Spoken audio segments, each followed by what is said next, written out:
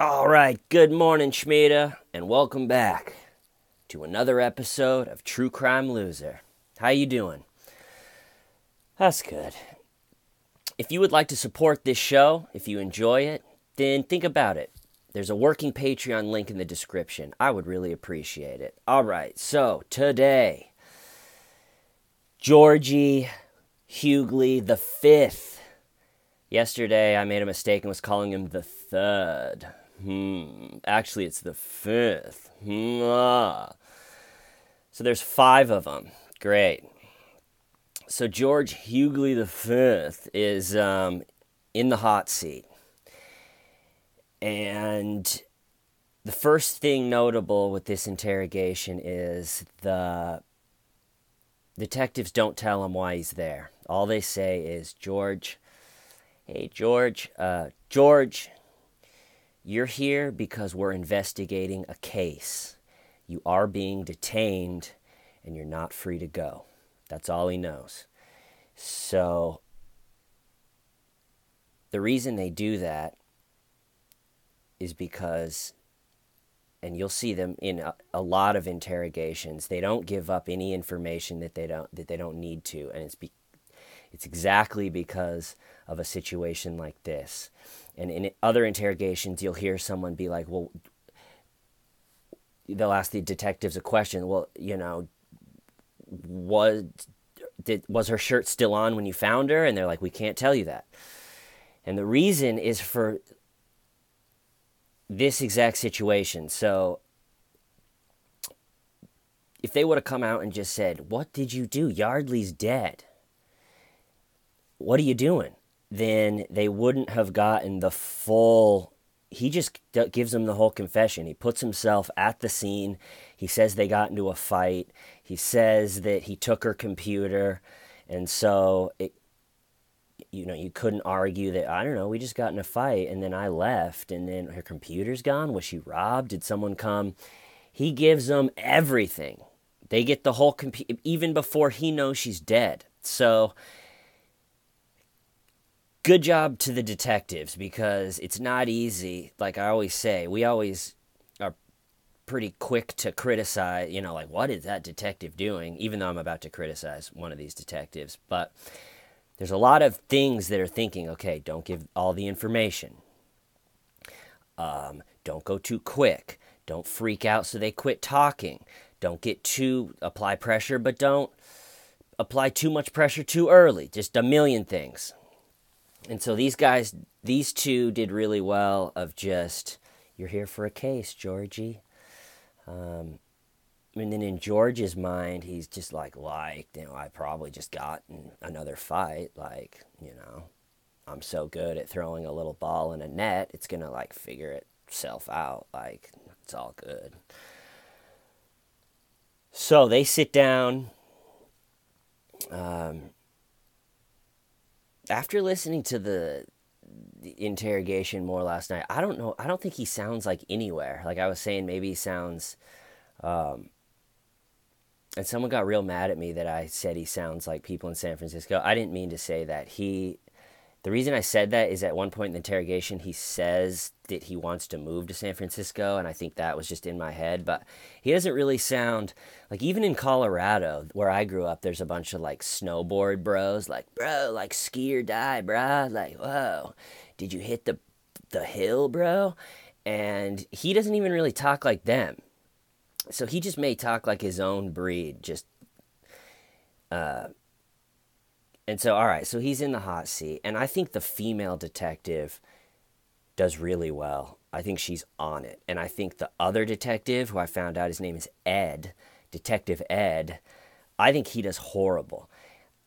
I feel like Ed has lines that he practiced, like Detective Ed in his in his house before the interrogation, like combing his hair, practicing his big lines, like "You're not here to dance with us," he has all these weird lines, but the problem is he kept screwing them up in this one. Like I think his big line that he wanted to use throughout this interrogation was you're not here to dance with us, George. This is serious. So I picture Ed in his in his house looking in the mirror like you're not here to dance with us. Like maybe has some music going in the background, like you're not here to dance with us. I'm Ed. Detective Ed is in the house. But he blows it. His big moment in the interrogation, he tries to use his big line a few times and they he just they just flubs the line. So at one point George is like, you know, after he figures out that she's dead, saying, There's no way she's dead. He's not dead. And Ed just goes, You're not here for any reason, George. And everyone is kind of just like, even the female detective is like, What? And then like a little bit later, a little bit later, he'll he tried it again, and finally he gets it. It's like you're not here to dance with us, George. But like four times, he just tried his big line, like his big Quentin Tarantino, like, you're not here to dance, buddy. But it just came out like, you're not here to dance with us. And it's like when you're doing stand up and just you try something and it's just not funny at all. You're not here with us, George. And even George, Ed was making George look pretty smart. Like at one point, Detective Ed was like, I think I know why you took the computer, George. And George is like, like, why did I take the computer? And Ed's like, because there was an email on the computer, George, and you wanted that email to disappear, right, George? You're not here to be with us, George. And even George was like, you don't delete emails by taking one computer. They're just on the internet. And so you could look at them from any computer. It's like that's the only time George looked smart in this interrogation when Ed was like, Detective Ed was like, Is that why you took the computer, George? And George is like, No. And Ed is just like, All right. So Ed was comically bad, in my opinion.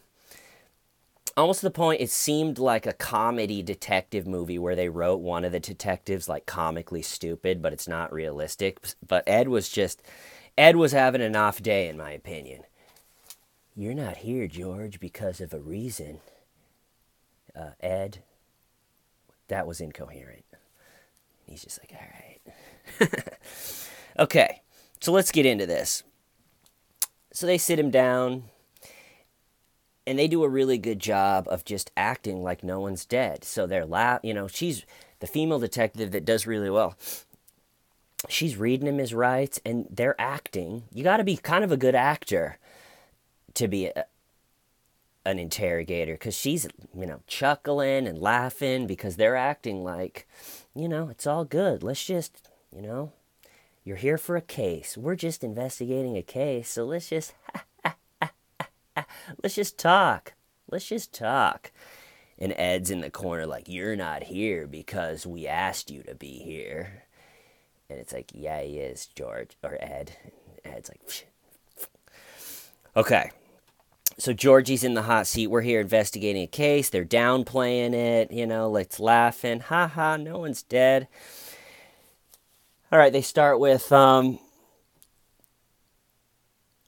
they start with describe me your day tomorrow and i talked about it yesterday but george is like so i went like played golf i, I did like a father son tournament with my dad and uh, like i had like we like drank all day and then like went to dinner and like uh, like uh, had like two wines at dinner and then like went home a couple beers and he so he describes and he goes to the bar and then uh, he's like I went and had a, five more beers or something. He talks about drinking all day and then he goes and then I went and talked to Yardley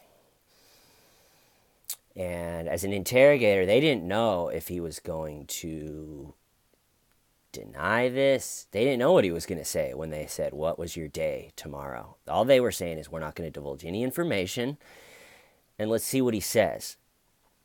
So you got to think that at that moment where he's talking about, I just got hammered drunk and then went and saw Yardley, there had to been like, Okay. All right, don't freak out. Ed, don't use one of your lines right now, Ed. Just let him keep going. So he puts himself at the scene. That had to have been a little bit of a nice. He just put himself. It's one of the hardest things to do. So, and God, his story about getting to Yardley is just one for the books. So that he's, they're like, so the detective's like, so who's Yardley? And he's like, she's like my like former girlfriend. And she, and the detective, the female detective is like, okay, keep going. And then so he's like, he so like I get there and I'm like, Yardley, let's just talk. I just like wanted to talk, but like Yardley was just like, oh, like she just like didn't want to talk. And she was already like freaking out about like she was like freaking out already, just like I don't want to talk, just freaking out. And I was like, Yardley, let's talk. We got to talk about this. Excuse me. And this is where he he really brings in um, what's his face? Georgie the Fifth. Ma. That Georgie the Fifth he really his strategy is he just keeps referencing the week before when Yardley came in drunk and was like hitting him. Ah, you fucking ah. Um and so he's like, yeah, like I just wanted to talk, but she was already freaking out about what happened last week, and like I was just like, let's talk, but she was like, ugh, like, ah, like. So the real story, if you didn't miss, if if you didn't uh, catch the episode yesterday, so he describes that he got there and like knocked on the door and was like, let's just talk. And she was like, oh, I don't want to talk. So like that's the story. The real story is he got there, knocked on the door. She was like, go away, George. And he kicks the door down, shining style, just and one thing that I had didn't talk about yesterday that I meant to is when everyone was describing like how good of a guy he was after he killed Yardley, you know, just like we didn't see it coming. He's always been a good guy. They were like he was even the vice president of Operation Smile. And I have no idea what Operation Smile is, but I just picture I just picture uh, George being like, Hi, I'm George.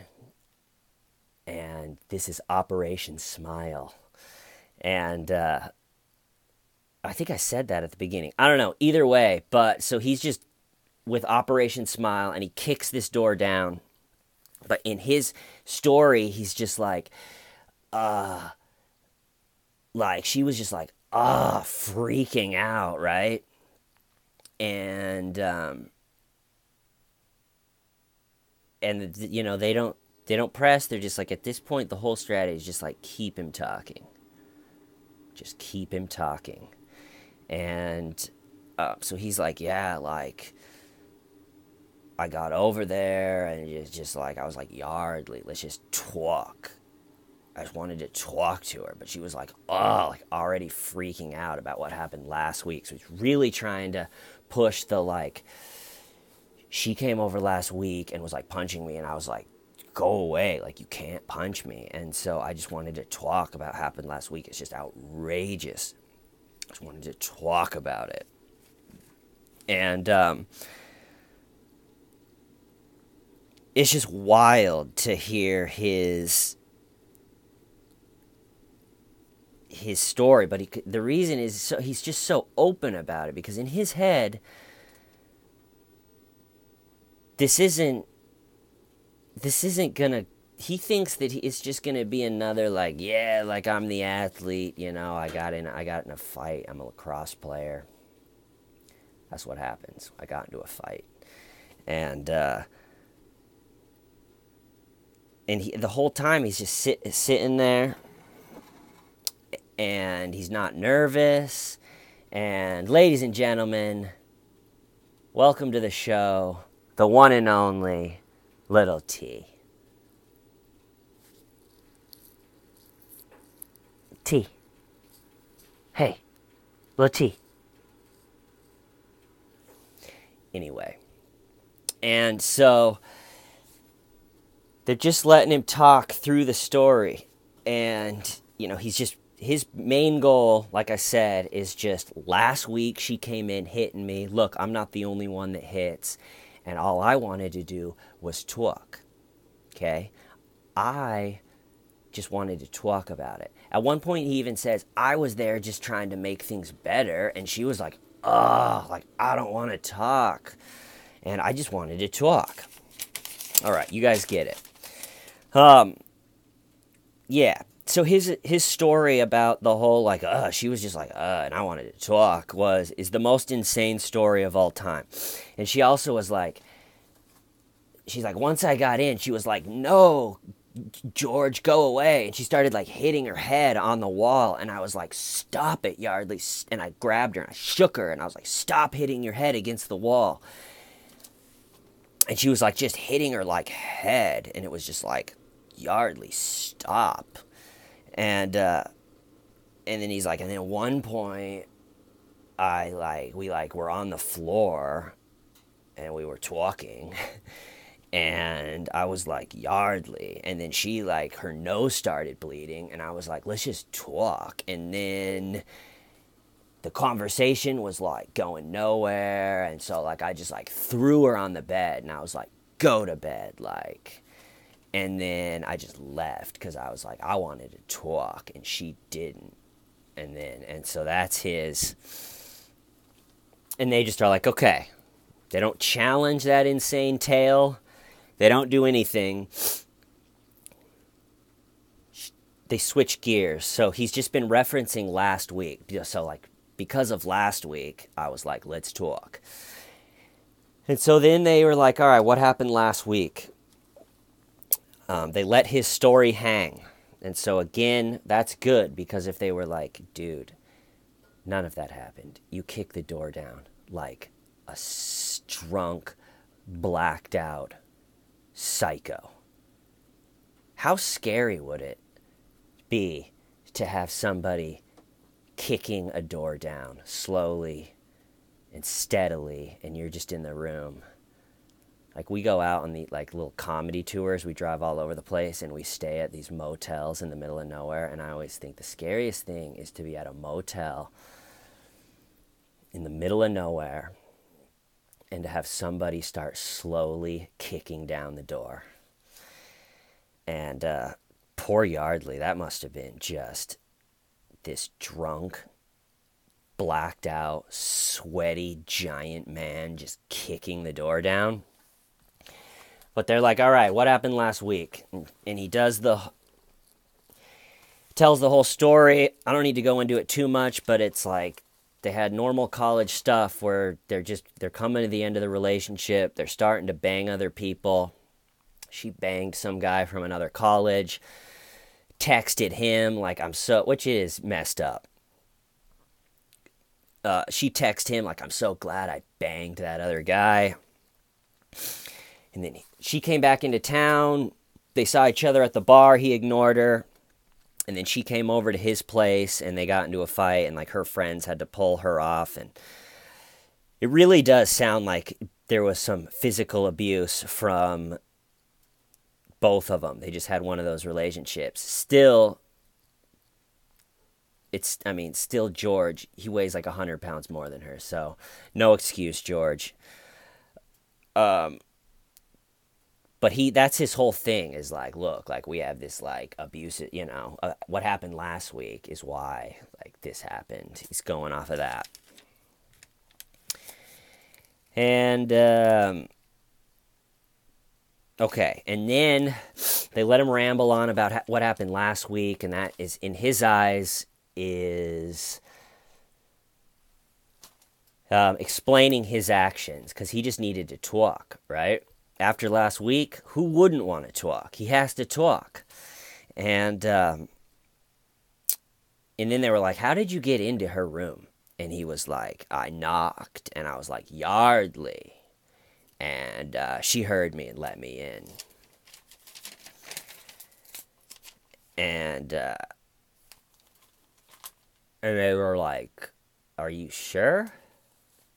And he sits there And he's like, actually, it might have been locked. And they were like, yeah, it was. And he's like, well, oh, like I may have like put a hole in it. And he like George is like, yeah, yeah. Actually, I may have like kicked it, kicked a hole in it. And Ed is like, Ed does all right at this part. Ed is like, George, that is not like wanting to talk. That's just pure rage. And you guessed it. He was just like, yeah, but I just like wanted to talk to her. What's horrifying about Georgie boy is he really thinks if you want it just wanting to talk someone means you get to. I wanted to talk. Therefore, I kicked the door down so I could get in because I wanted to talk. Like as if the detectives are going to be like, oh, he wanted to talk. Gotcha. All right. We thought, listen, George, we're sorry. We thought that we thought you'd kicked the door in and murdered her just because you were mad and drunk, but we di- we didn't know you wanted to talk. He wanted to talk, shut the cameras down. They just like that's pretty that goes back to like him never being told no in his life. I wanted to talk. I get if I want to talk, I get to talk. Like you can't just not get what you want if you want to talk. So I think that's what's scary about this dude is he's just he, he has no concept of if someone doesn't want to talk to you and the door's locked, you don't get to talk. And if you kick the door down, you got to go to jail because it's just insane. Okay, so where are we at? And uh, I, sw- I swear a line that George said while explaining to Ed that he just wanted to talk to her is he goes, I was there to just make things better. I wanted to talk. I was there to make things better. And then the female detectives takes backs over and uh, saying, you know, after you wrestled with her on the bed and she had a bloody nose, did you go back and check on her or did you call 911? And he's just like, no, I didn't think she needed it. And I think, and they take a break at this point. So I think they're probably at this break talking about, um, like maybe he doesn't know she's dead. You know? and it's like okay? Because um, just the, his his body language and everything he's like relaxed the whole time which is nuts to me because everything that he admitted even if she wasn't dead if you kick the door down and wrestle with someone and give them a bloody nose and then admit to that that could be kidnapping and breaking and entering he got 23 years for the murder you could possibly get 20 years for just what he did if she didn't die. So I don't understand why he's sitting there just being like, yeah, like I just wanted to talk. And then we were on the ground and I was just like shook her, like, let's talk. And, uh, yeah, it's, I, I don't, he just I think he just thought that he was just going to wiggle out of this one, just like everything else. It was just going to be like, I'll be back on the yacht in no time, and then I'll jump off, and then I'm going to throw a little ball into a net, and everyone's going to love me for that. I throw a ball into a net really well. And so, you know, I'm allowed to talk. And, uh, but the problem is, this time he did he did something where he did something bad enough that no one really cares how well you throw a ball into a little net anymore, Georgie. And so they take a break. Then they come back, and Deputy Ed has some weird moments where he's trying to talk about the laptop. And um, and then really soon after that, they tell him. they tell him, George, she's dead. And for everyone that watched the, for everybody that watched it yesterday, then his reaction to that news is pretty interesting to watch. But I'm going to cut it off there. This one's getting a little long. Um, that's the show. I appreciate everybody that likes and subscribes and helps me out on Patreon so much. You guys really are the best. I love you all. True Crime Loser out. Why? Steven Why? Schmida.